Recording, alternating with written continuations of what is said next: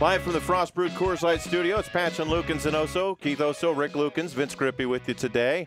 On the day that Felix Hernandez throws a perfect game for the Seattle Mariners.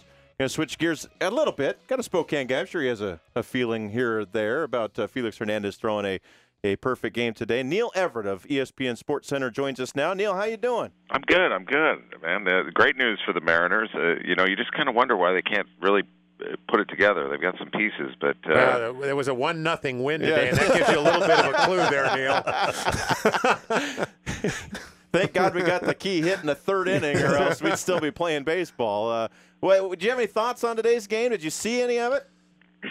No, I didn't actually. I was driving into the. I was driving in and I was listening to talk radio, and at the top of the hour they do like you know uh, national news where you usually hear about Obama or Romney or something like that. And the very first thing they said was it was a perfect day in the Great Northwest. Mm. And I'm hmm. like, what? and, uh, so good for. I mean, good. And they got a good. They got a walk off win the night before, and they and they got this one today. So good good for all things uh, Seattle. And uh, Neil, are you? Are, I know that you you give mad props anytime there's a Gonzaga highlight on on Sports Center, and, and you always throw out the Spokane references. Do you kind of do you follow the Mariners at all?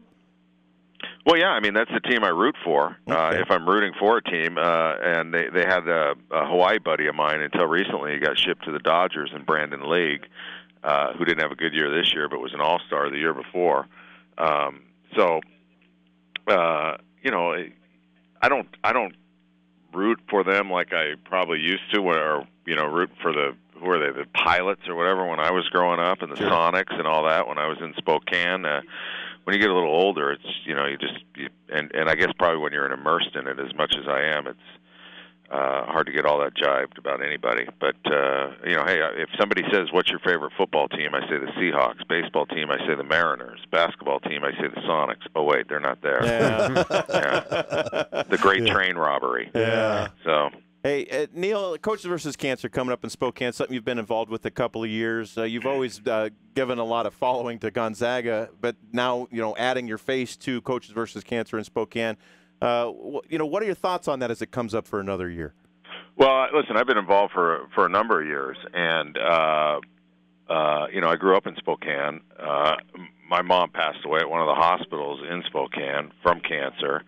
Uh, you know, life changing event for me. So when I became aware of this event, and when they became aware that I was from Spokane, uh, it seemed like a natural thing to get involved with, and it's something I mark off on my calendar every year.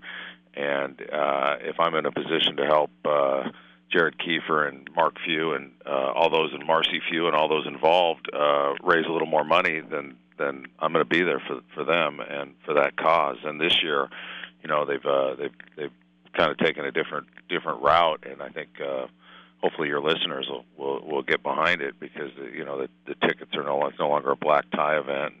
Uh, it's tickets that are affordable for everybody, and it's a guy who's who's laugh out loud funny in uh, Jim Gannigan, Gaffigan, excuse me, uh, and um, so uh, I'm I'm looking forward to it. Well, Mark Few was on with us a couple of days ago, and he said his favorite part and his family's favorite part is where Mark gets roasted by several several people. Are are you going to be taking part in that?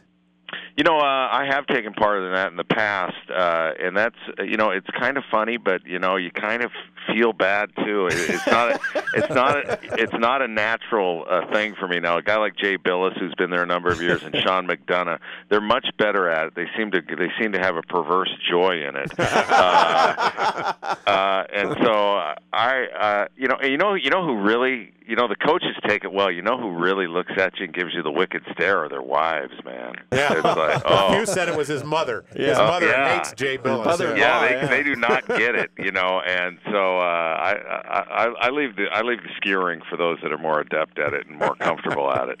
Now, Neil, last time we had you on, it's been a couple years. Well, last time we had you, had you on, we talked about uh, the Great Whammy down at Dick's, and, yeah. and, and big fan. Is there uh-huh. a place in Spokane uh, that when you come back, it's like I got to make sure to get there?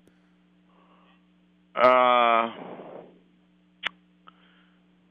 well, Wow. Um, well, got to get got to stay at the Davenport first of all. sure, That's you know that's the best spot in town. Sure. That's where I had my senior prom way back when. Um, It didn't Back- look like back when it was open before, Yeah, yeah. yeah. It didn't look like it does now. uh, it, well, you know, it's so nice, man. In Yeah. fact, I even I even bought a Davenport bed and had it shipped to L.A. That's how much I Nice. love that place. Nice. So, um, wow, you know, the, the whammy is the the whammy is the kind of the spot. Um, oh, wow, that's a good, great question. Um, most of the pubs that I used to hang out with underage, did I say that on the air? uh, they're no longer open. Uh, you know, I, I'd try and get over to Jack and Dan's, I guess, because Sure. of their affiliation. Um, you know, I'm, uh, when we get done here, I'm going to go. Oh, I can't believe I didn't mention that place. But uh, you know, I, I got to go down to uh, Spokane Athletic and see my man Sweaty. And uh, that, but uh, other than that, about you know, Zips with some Hudson tartar hamburgers. sauce? If I make it over to Coeur d'Alene, so. Uh, the other day, I gave a slab in reference. Is that still oh, open? nice. Uh, It's still yes, there in Yes, Post Falls, yes, yes. That absolutely. is that is disgusting. well, you, uh, so I don't anticipate we're going to see you at the slab in when you come Not- back. To No, listen. Hey, listen. I bet I should get like a a, a, a hero's welcome for mentioning them That's out right. there. Not such a big deal since they changed the drinking age in North Idaho. yeah. Yeah. So All right, so here I've, I got another question for you with regard to the the the, uh, the great uh, promotional commercials you get you ESPN anchors do. Right. You know, uh, is is there is there any talk? Do you think, or maybe you could spur some talk about about getting uh, you know either a, a Mark Few or a Mike Leach involved in one of those coming up sometime?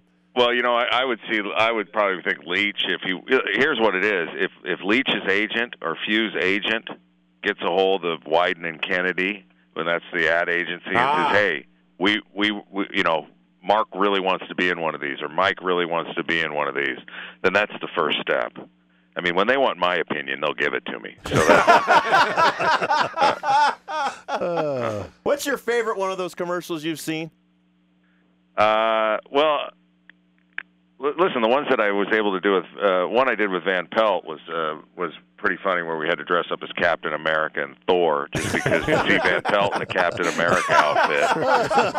Uh, and uh, I think the favorite, you know, the the one I did with Roger Federer, I think, put me on the map. So Yeah. I, so I'm I'm very partial towards that one. When I told him I was in the top ten, and then he wrote me later and said, "Yeah, I, I did."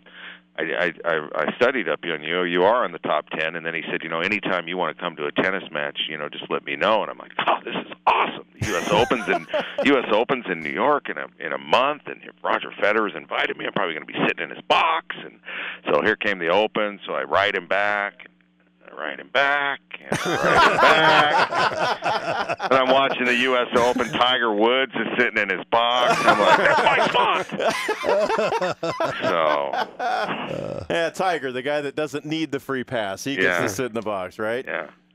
yeah. Hey, uh, Dennis, you mentioned it's you know it's been a couple of years since I've been on the show, and I'm wondering who the hell else you talking to? I mean, why am I only on once every two years? Well, I, I actually emailed uh, whatever the ESPN email address is there, and I guess we just got to go through Jared more often because this happened pretty easily. But believe me, believe me, you have been requested time and time again on this show, and my lack of, I guess, connections in Bristol has uh, has not gone well. Let's put it that hey, way. my my love my my uh, love for Spokane, man. You just you can just call me up directly. So Done. Done. Well, now you're going to be sorry you said Yeah. that. So, uh, you looking forward to this trip? absolutely, you know, uh, it's also the 100th um uh, anniversary of Lewis and Clark, and Sure. uh, where I went to high school. So they're having a they they called me up and asked me if I'd speak because apparently they crossed out 400 other people ahead of me on the list. So they were down to me, and they were like, you know, we, we want you to spend five minutes on what you remember about Lewis and Clark, and I'm like, that's uh, if I if I have five minutes of that memory, I'll be I'll be happy. So, uh, but so that's going to be cool to go back there. I haven't been back in that building in forever, but you know, no, listen, I'm super psyched to come up for this thing. Uh, the, you know, this is you know, I go to a lot of events, and the, and the, the Jared and Fewey and those guys. Uh, this is a this is such a top notch event. The way they run it. Uh, you know, you never, you know, some events you go to and you go, God, this is great. Uh, it's kind of Mickey Mouse, though. uh, this thing is, you know, five star all the way, and uh, the the Northern Quest, what they do, and uh, what Gonzaga does and all the sponsors, and and I, I'm really looking forward. I mean, I last time I was in the Fox Theater, I was in the balcony making out with somebody at 16. So I don't. Nice. so to, to to go back and see if that that place is all renovated, that's going to be sweet. And listen to Gaffigan, who I actually went to New York and saw him in a Broadway play the championship season last year, and I think that was his Broadway debut. So that's going to be uh, cool to see him do his co- comedic gig and you know see. uh old uh, Ray Jack and all the, all the coaches and that are up there. So it's a blast. And uh, really, anybody listening out there, get down there, get on Tickets West, and uh, get yourself a seat. And we're gonna have a hell of a party. Well, Neil, we appreciate your time, and, and let me be the first to say congratulations on the makeout session at the Fox because that's pretty that's that's pretty good. I just hope it wasn't during Schindler's List or. So- well, uh, thanks, Neil. We appreciate it. We'll see you in, in a couple weeks here in Spokane. Aloha. All right, that's.